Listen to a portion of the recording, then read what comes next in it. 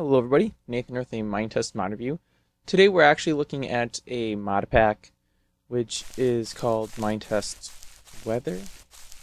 Minetest Mod Weather, I think is the actual name of the mod pack.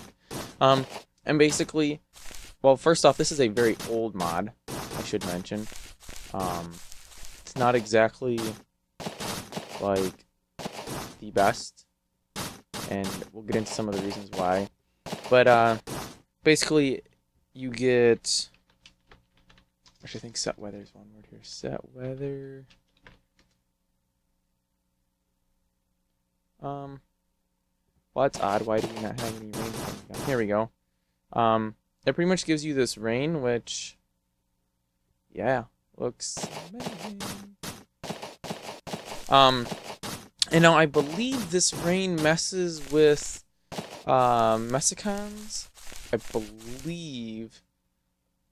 Oh, this was uh, Digilines. I forget which, but I believe this rain will uh, like make those things disappear or something. And it may have been changed, but I remember at one point reading that the rain just wrecked all that. So we have we have this rain here.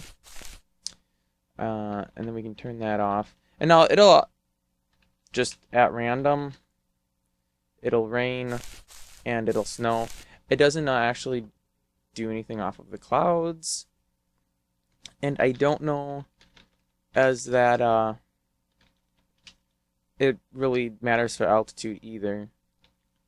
It just kind of, you get it at random times. Uh, and then we have the snow, which gives little snow particles. And I guess it decided it wanted to stop snowing already. So let's turn that back on. Because the snow here, when it's actually snowing out, um, there's a little interesting... Ah, hey, and here's some is. little interesting, interesting thing I wanted to show off is that you'll actually get snow accumulation on the ground. Now this, by default, is actually not enabled to enable it, you have to modify a file. Let me pull it in here. Uh, you have to go to the Minetest mod weather and then go into the weather folder and there's a snow Lua file. You got to open that up and this bottom portion here will be commented out with two square brackets and then at the end two square brackets. Just remove the bottom two square brackets and the first two square brackets right here and it'll uncomment this section out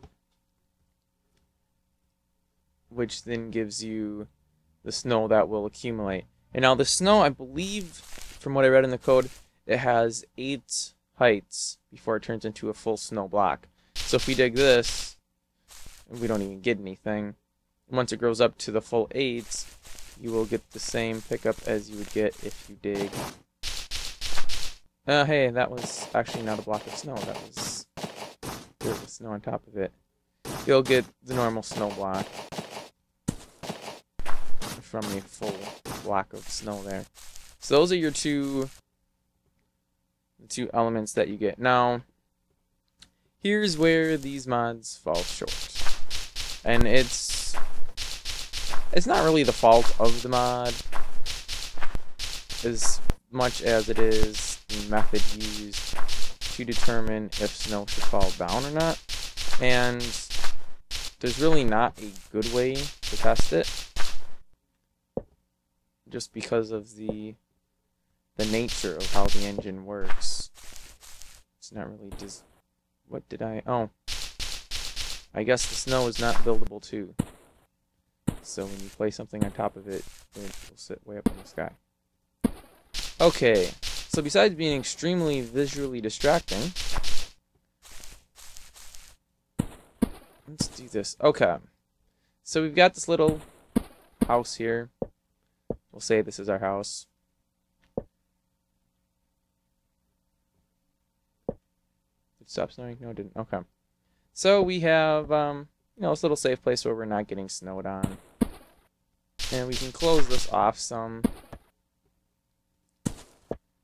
Like that. Um, but snow kind of has fallen through. If we go into this point, it like checks the space above your head. So because there's air above my head, and how many ever nodes up it checks. It's clear to the sky, it'll snow, and it snows through the wall here. Now, if I had some glass on me, which of course I don't. Oh, you know, I'd have to do, I'd whole furnace. Um, it helps learn how to spell. Give me default glass. Okay, so say we have a big chunk of glass here we want to put out. Now one would think, oh, glass should stop the snow from falling through. Mmm, no it doesn't. Okay, well let's throw some more glass up on the roof here. You know, we want to have like a little skylight. I want some natural sunlight into our little cave here. And we discover, ooh, snow is all falling through this. That is icky. Now, the reason the snow falls right through the glass is because of the coding used. The code, uh, what is sunlight propagates, I believe, is the code that is used in the node definition. Um, and that basically means that the sunlight can go through it. Well, the way the snow and the rain work is if sunlight shines through the node, snow and rain will go through the node. So snow and rain will fall through glass black because sunlight shines through them. Which is annoying you did a little sunroof on something and then you have rain or snow falling through. So it is a it's a setback to it. Normally I wouldn't have reviewed a mod like this because that's the only thing it adds. It just makes it snow and rain and then you get little snow blocks here. Nothing else. Um, and I honestly wasn't even planning on doing it, but last week in my Minetest mod review, I happened to be in a snow biome. It wasn't lastly goblins? Well, whatever the point is, there was snow. And, um, yeah, one of the guys watching my video commented on YouTube and was like, How did you get the snow? And I was like, Well, um, I was just in the biome. But there are some mods that add some snow stuff. Let me review one for you next week. So I totally forget who he was, but this video is entirely because he wanted it. So there we go. If you guys have any mods you would like me to review, do not hesitate to leave a comment and let me know, and I will try my best to review them for you. Thanks for watching, and I will catch you again next week, same time, same channel.